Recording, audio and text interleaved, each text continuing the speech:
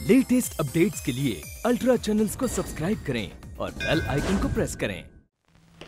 शांति। Congratulation बेटी। तूने वकालत का इम्तान भी पास कर लिया। सब आपका आशीर्वाद है पिताजी। शांति मैं जानता हूँ तेरी इस फीकी मुस्कुराहट के पीछे दर्द भी है। लेकिन बेटी तू इस घर की रौनक है।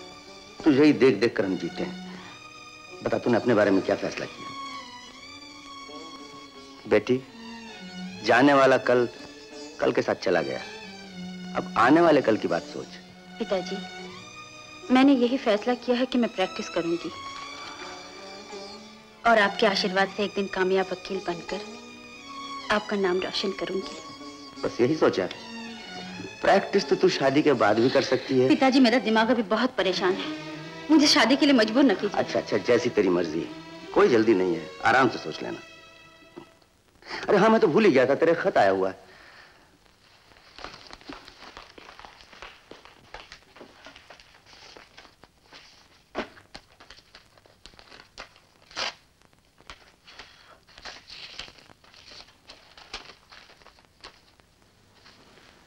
आपकी विजय। विजय? मेरी अच्छी शांति दीदी। आप ये खत पाकर हैरान तो होंगी कि विजय को बरसों बाद आपकी याद कैसे आ गई। दीदी, शायद मेरा जन्म इसीलिए हुआ था कि मैं आपको, अपने चाचा को और गौरी चाची को दुखों की भट्टी में झोंक दूँ। चाचा ने मेरी खुशी के लिए अपनी खुशी की आहुति दी और उस आग में तीन घर सुलग उठे। अब मुझे यकीन हो चुका है कि गौरी चाची की ज़िंदगी आपके हाथ है।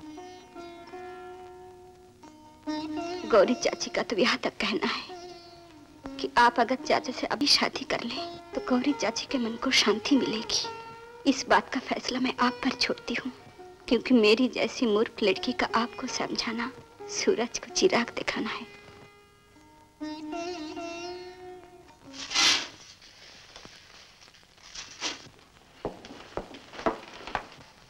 कौन है? नमस्ते। नमस्ते। राजबाबू कहाँ हैं? जी वो तो दफ्तर गए हैं। कौन से दफ्तर में काम करते हैं? पंचायत में क्लार्क है। पंचायत में क्लर्क? जी हाँ। आप कौन हैं? जी जब वो शहर में पढ़ते थे हमारे किराएदार थे। सिर्फ़ किराएदार ही नहीं बल्कि हमारे घर के आदमी जैसे थे। अच्छा। मेरे माता पिता उन्हें अपने बच्चे की तरह समझते हैं। मेरे भाग की क्या आप आई आइए आइए। हाँ, बैठिए तो।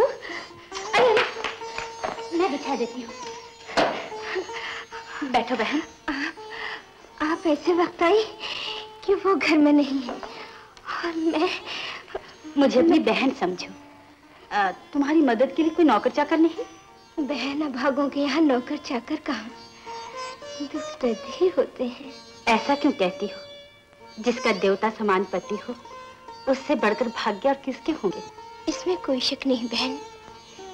मेरे पति तो देवता है पर बहुत दुखी हैं। और उनके सारे दुखों का कारण मैं ही हूँ। भगवान मुझे मौत दे दे। बहन तो शायद उन्हें शांति मिल जाए। ऐसा क्यों कहती हो बहन? शांति तो अपने मन के अंदर होती है। क्या वो तुमसे प्यार नहीं करते? उनके मन में तो प्यार ही प्यार भरा है। लेकिन वो प्यार मुझ तक नहीं पहुँच सकता। और मैं उसकी हकदार भी नहीं हूँ। इस अंधी अपाहज को अपने चरणों में जगह दी है। उनका यही उपकार क्या कुछ कम है? वो बहुत महान है बहन। मुँह से तो कुछ नहीं कहते, पर रात को नींद में सोए सोए किसी का नाम लेते हैं। कहते हैं, शांति शांति, मुझे माफ़ कर दो। मैंने तुम्हारे साथ बहुत अन्याय किया है। अब तुम ही बताओ बहन, जब उनकी शांति कहीं और है तो जीते जी मुझे शांति कैसे मिल सकती है? मेरी शांति तो मेरी मौत ही में है। बहन मौत का सहारा तो बुजदिल लेते हैं। अगर शरीर के एक हिस्से में दर्द हो तो उसे काट देने का नाम इलाज नहीं। आओ मेरे साथ। आओ बहन।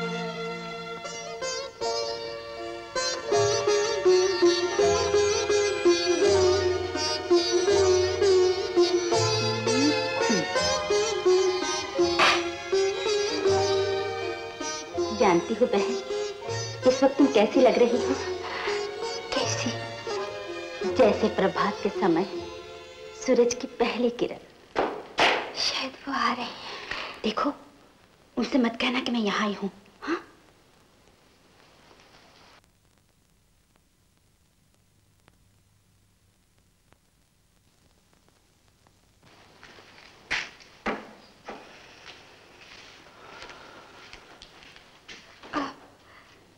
आप चुप क्यों हैं दफ्तर से थक कर आया और फिर बात भी क्या है करने के लिए? आपने मेरी तरफ़ गौर से देखा नहीं। देखा है अच्छी तरह देखा है। क्या मैंने तुम्हें कभी कहा है कि तुम खूबसूरत नहीं हो? फिर ये बालों में फूल या श्रृंगार करने की क्या ज़रूरत है? लाश को भी उजला कफन पहनाकर फूल चढ़ा देते हैं। तो क्या मैं जीते जी श्रृंगार नहीं कर सकती? श्रृंगार उस वक्त करते हैं जब किसी का दिल जीतना हो किसी को अपने जाल में फंसाना हो। यहाँ तो पंछी अपने आप जाल में फंस चुका है। भगवान के लिए। बस बस रहने दो। आज तक जो कुछ किया है भगवान के लिए किया है दुनिया के लिए किया औरों के लिए किया है। मगर दुनिया ने मेरे लिए क्या किया है? नहीं। मुझे माफ़ कर दो गौरी भगवान के लिए ऐसा नहीं नहीं गौरी दुख दिए हैं ना। कोई कोई मुझे माफ़ कर दो।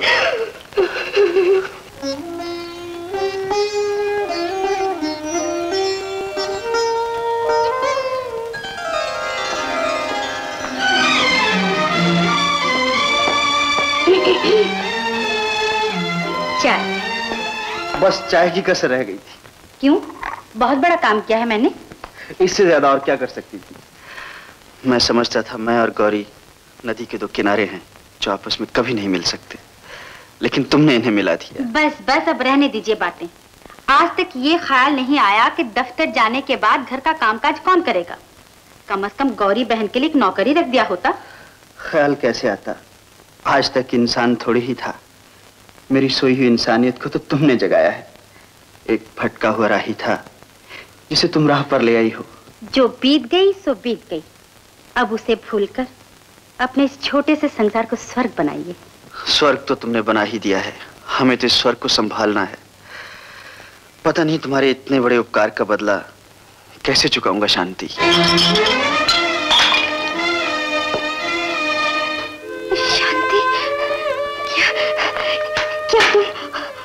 हाँ। बहन वही शांति, जिसके कारण नहीं नहीं दीदी, तुम तो मेरे लिए वो हो, जो चाँद सूरज भी नहीं हो सकते। तुमने मुझे आँखें दी, मेरे मन का दीप जलाया। दीदी, जहाँ तुमने इतने एहसान किए हैं, वहाँ एक उपकार और कर दो। मुझे वो पैर छू लेने दो। बहन जिनके पड़ते ये घर स्वर्ग बन गया।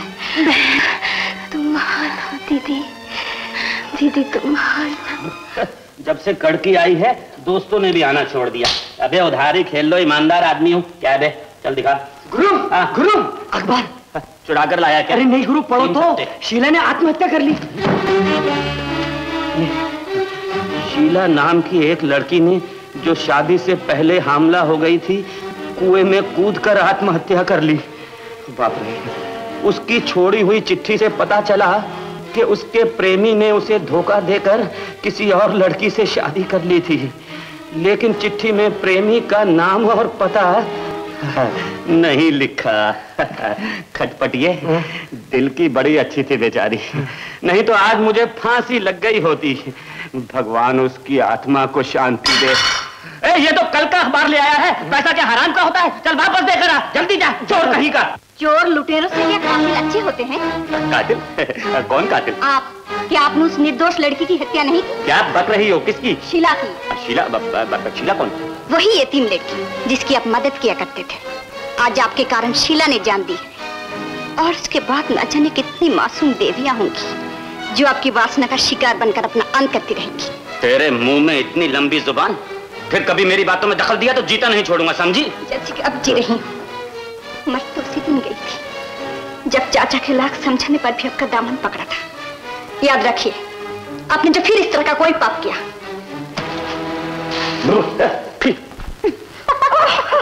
शांति दीदी। आज बहुत खुश नज़र आ रहे हो। हम तुमसे नहीं बोलते दीदी। क्यों? हम्म आँखों से उजल होते ही भूल गई। मालूम है पड़ोसन से चिट्ठी लिखवाने में कितनी मुश्किल हुई? छोड़ो ना गुस्सा। अरे हाँ तुमने लिखा था कि एक खुशखबरी सुनाओगी। क्या है वो? दीदी नहीं बताओगी? नहीं? नहीं? ठहरो बताओ। बोलो बोलो बोलो। अच्छा इस घर का आँगन आबाद होने वाला है। गुरु गुरु जी गुरु! क्या है? ओ गुरु जी से मिलना है। वो घर में नहीं है। और कभी उनसे मिलने की कोशिश ना करना। मैं जानती हूँ ही उन्हें बिगाड़ रखा है। मैंने? अरे शैतान को कोई क्या बिगाड़ेगा? मैं तो गुरु का रखवाला हूँ। अगर मैं नहीं होता ना भाभी जी तो आज तक पुलिस कभी का गुरु को ससुराल ले गई होती चक्की पीसने बको मत कौन सा पाप किया उन्होंने? सबसे पहला पाप तो उसका ये है कि उसने इस धरती पर जन्म लिया। और दूसरा पाप ये है कि जन्म लेके इतना बड़ा हुआ। और तीसरा पाप ये है कि वो अब तक ज़िंदा है। जी हाँ। कौन है वो? ओ गुरु जी। तू यहाँ क्या कर रहा है? गुरु भाभी जी से मैं तुम्हारी तारीफ़ कर रहा था। पूछो पूछो। झूठ। बुराई कर रहा था। आपकी और तू यहाँ खड़ी सुन रही थी हाँ? चल? अरे नहीं गुरु। मेरी बुराई कर रहा नहीं गुरु। तेरी ये हिम्मत हैं? हैं? हैं? करेक्ट गुरु याद रख उस्ताद आज तूने मुझ पर हाथ उठाया है लेकिन तेरी भी गर्दन मेरी मुट्ठी में है। अगर भांडा फोड़ दिया ना तो बगले झाड़ता फिरेगा। हाँ बड़ा आया भांडा फोड़ने वाला। चल उस्ताद आज तक तेरा वास्ता कायरों से पड़ा होगा। लिख ले मेरा भी नाम खटपटिया है। आज से अपने दिन गिनने शुरू कर दे। हाँ। Yeah.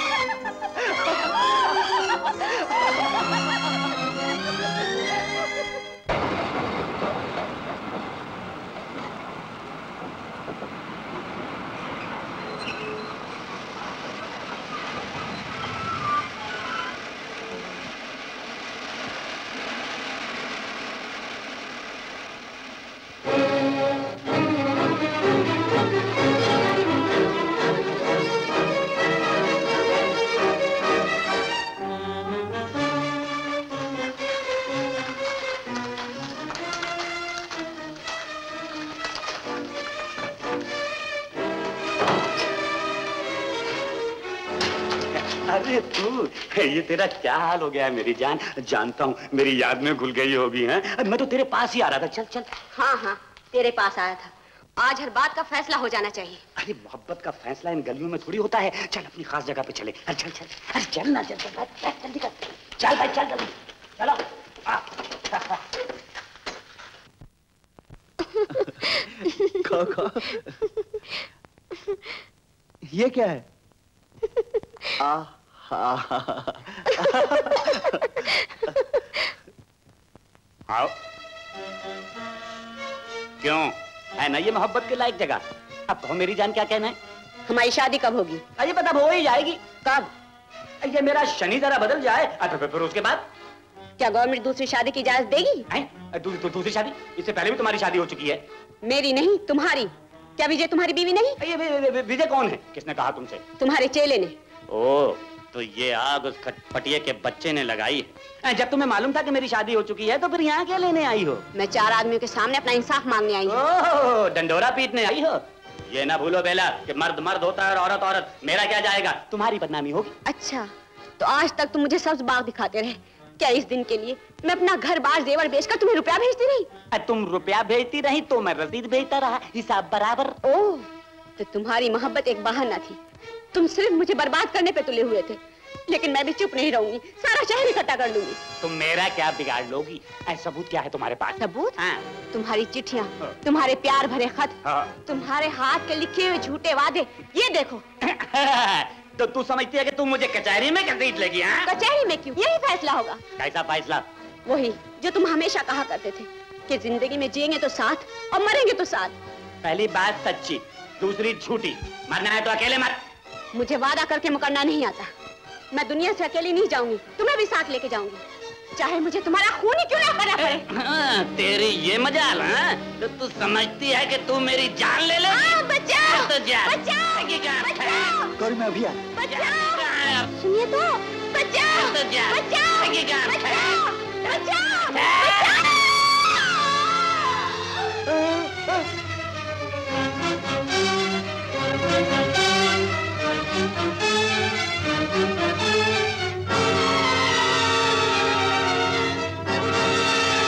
बालम क्या हुआ? अभी कुछ नहीं। क्या हुआ छोड़ दो मुझे छोड़। दो बालम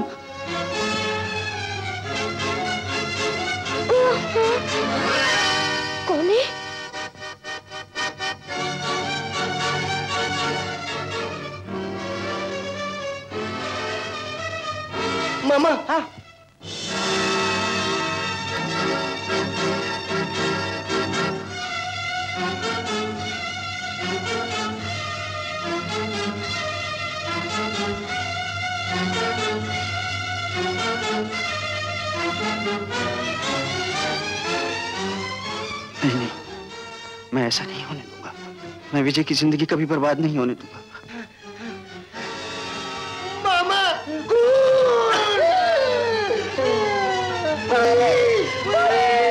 क्या हुआ?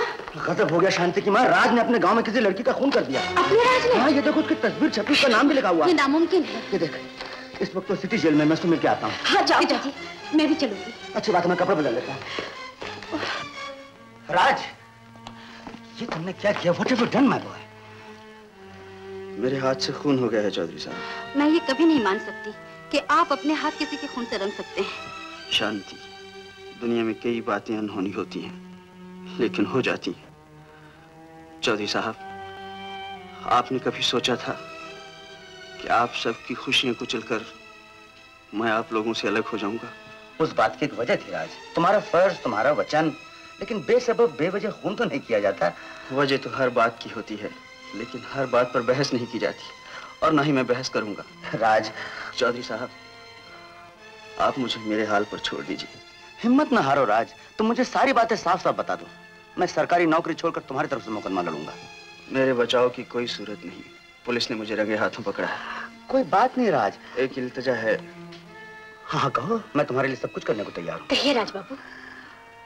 मेरे बाद विजय और गौरी को सहारा दी ये तो ठीक है राज लेकिन राज सुनो तो। राज! राज बाबू रा... पिताजी क्या हो गया है इन्हें? ये तो बिल्कुल ही बदल गए हैं।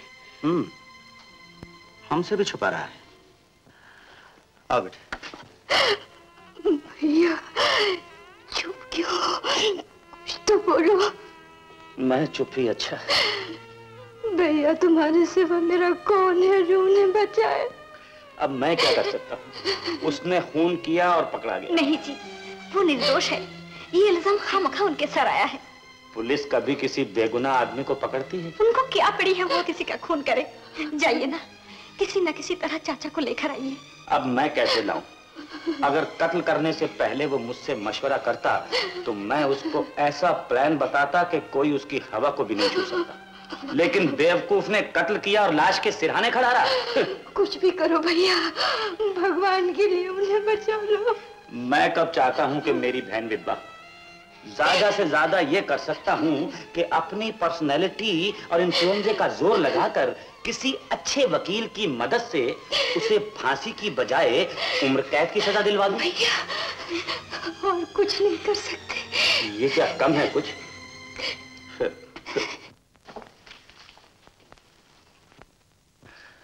बात बहुत आगे बढ़ गई है बेटी। राज का केस सेशन के सुपुर्द हो गया है। सच? हाँ। और पब्लिक प्रोसिक्यूटर की हैसियत से इस केस पर मुझे बहस करनी पड़ेगी। तो आपकी कोशिश ये होगी कि राज को खून का जिम्मेदार ठहराया जाए? मुझे अफसोस है बेटी लेकिन ये फ़र्ज़ मुझे निभाना ही पड़ेगा। पिताजी अगर राज से मेरी शादी हो गई होती तब भी आप ये फ़र्ज़ निभाते? शांति राज से मुझे प्यार और हमदर्दी ज़रूर है लेकिन कानून का जज्बात से कोई ताल्लुक नहीं। वो अपने जुर्म का इकबाल कर चुका है। सारी गवाहियाँ उसके खिलाफ हैं सारे सबूत उसके खिलाफ हैं। अगर यही सबूत और गवाहियाँ राज के हक में हो जाए तो? बेटी अब ये मुमकिन नहीं पिताजी आप मुझे गलत न समझिए। मैं राज की तरफ़ से इस केस पर बहस करना चाहती हूँ। इसका ये मतलब हुआ तुम मेरे मुकाबले में खड़ी होगी। कानून का रिश्ते और जज्बात से कोई ताल्लुक नहीं। लेकिन याद रखना कचहरी में मैं तेरा पिता नहीं। बल्कि मुकाबले का वकील हूँ मुझे आपकी रियायत नहीं बल्कि आपका आशीर्वाद चाहिए। मुझे कोई फ़र्क नहीं पड़ता। अगर केस मैं जीत गया तो एक वकील की जीत होगी। और अगर केस तूने जीत लिया तो एक बाप की जीत होगी। बहरहाल जीत हमारी होगी। Good luck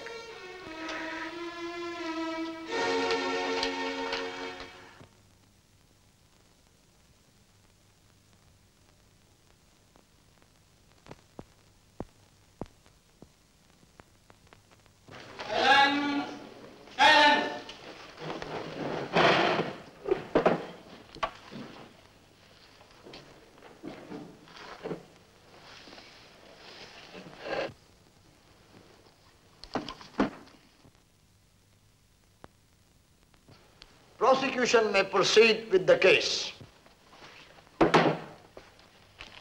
Your Honor, this is a clear case of premeditated, deliberate and cold-blooded murder. आप प्रोसिक्यूशन की तरफ़ से तमाम गवाह सुन चुके हैं जिससे मुकम्मल तौर पर यह साबित हो चुका है कि मुलजिम खूनी है फिर भी तमाम गवाहियों की रोशनी में मैं इस मामले को एक बार फिर दोहराता हूँ पुलिस के बयान के मुताबिक 22 अगस्त की शाम के करीब पाँच बजे मुलजिम एक खूबसूरत जवान लड़की को एक सुनसान जगह पर ले गया, कत्ल करने के इरादे से। वहाँ उसने उस लड़की को एक ऊँची पहाड़ी से धक्का देकर उसका खून कर दिया। इत्तफाक से दो चरवाहे जो नज़दीक से गुजर रहे थे। लड़की की भयानक चीख सुनकर उस तरफ़ भागे और वहाँ उन्होंने खून में लथपथ उसी लड़की की लाश देखी और मुलजिम को बौखलाया, उसी लाश के पास खड़े हुए देखा। उस खौफनाक मंजर को देखकर वो दोनों तूफ़ान की तरह इंस्पेक्टर रामलाल के घर की तरफ़ भागे और जाकर सारा वाक्य सुनाया। इंस्पेक्टर रामलाल बिजली की तरह मौके पर पहुँचे। उस वक्त मुलजिम को भीड़ ने घेर रखा था, इसलिए वो भाग न सका और मुलजिम गिरफ़्तार हुआ। सेकेंडली ऑनर मुलजिम अपनी जबान से इकबाल करता है कि मकतूला को उसने ऊँची पहाड़ी से धक्का देकर उसका खून कर दिया।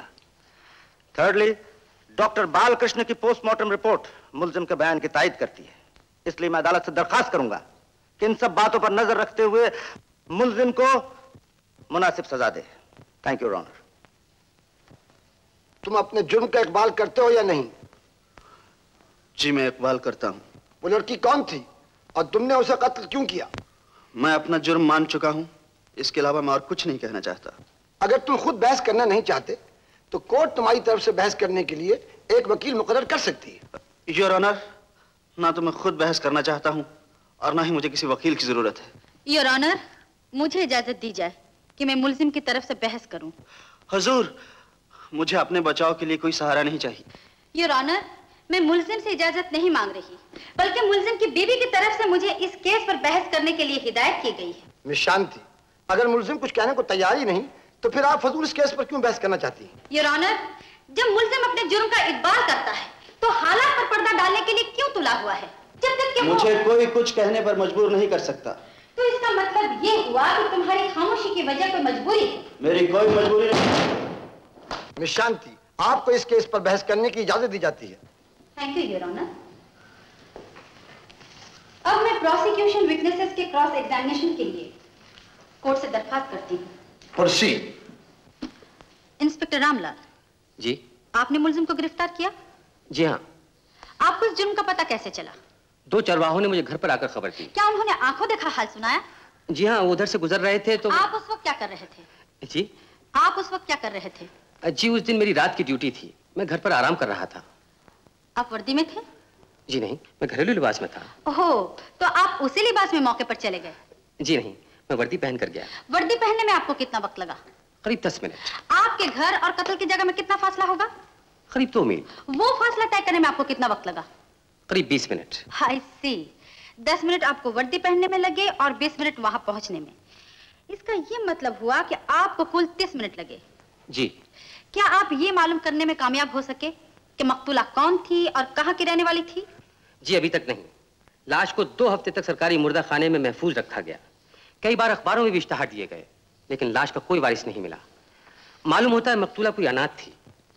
इंस्पेक्टर रामलाल पोस्टमार्टम की रिपोर्ट कहती है कि उस अनाथ लड़की के जिस्म पर छुरे का एक घाव था। क्या आप उस छुरे को पाने में कामयाब हो सके?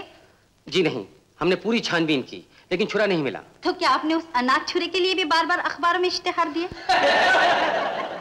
जी वो बात ये थी कि. You can go. Thank you